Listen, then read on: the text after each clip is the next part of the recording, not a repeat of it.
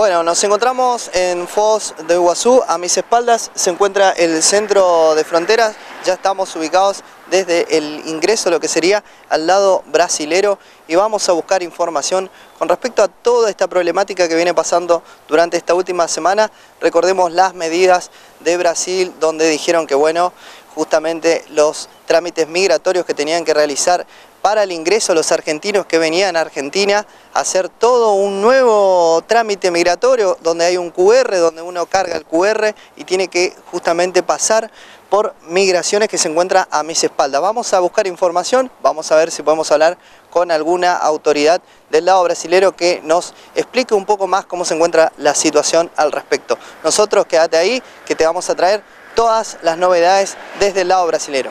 Bueno, miren la larga cola ubicada en lo que es el ingreso a Brasil. Vamos a hablar un poco con los turistas que se encuentran acá ubicados. Vamos a preguntarle de qué parte de Argentina vienen, si son de Argentina o no.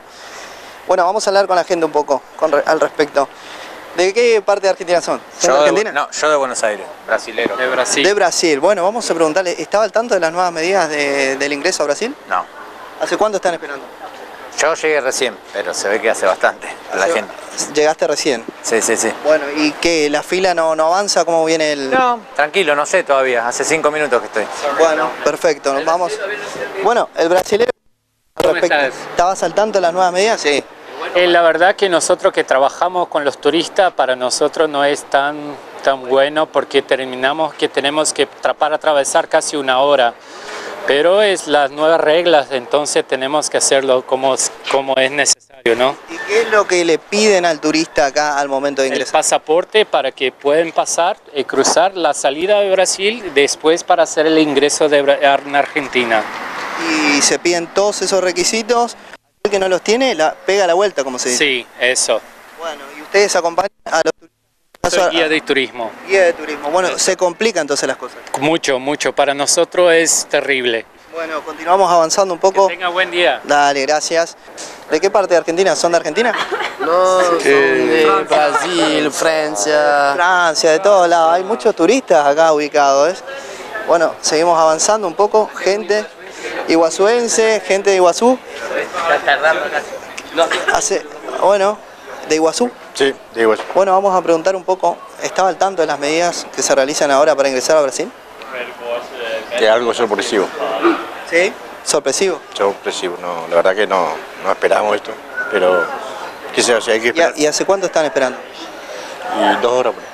¿Dos horas aproximadamente? Más o menos. O sea que demora completamente todo lo que era antes, ¿no es cierto, el ingreso? antes era, era digamos, eh, vía libre.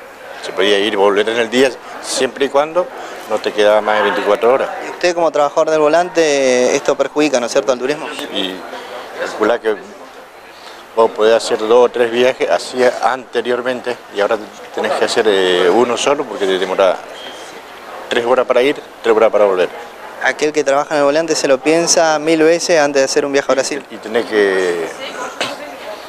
Fíjate, por ejemplo, ahora lo que no, no conviene venir si vas a Ciudad del Este no conviene venir por acá. Tampoco conviene venir por acá. Y no, te conviene ir por la balsa, que es mucho más rápido. Estamos hablando encima dos horas de ida, dos horas de vuelta, totalmente complicado. Mirá, vos tenés dos horas acá, tenés más dos horas para cruzar en Paraguay, tenés cuatro, y tenés más o menos ocho horas perdidas. Aproximadamente. Sí, más o menos. Bueno, entonces, bueno, esta es la situación. Eh, muchas gracias. Eh. Esta es la situación. Vamos a ver si, si hablamos con más gente. Ahora desde el lado del ingreso, ¿no es cierto?, al país argentino, porque recordemos que este trámite se hace en ambos lados, así que vamos a ver un poco cómo es el trámite del ingreso, aquel que es, bueno, de Argentina o aquel que es turista, vamos a ver si hablamos con algún responsable. Quédate ahí, no te lo pierdas, información desde el paso fronterizo.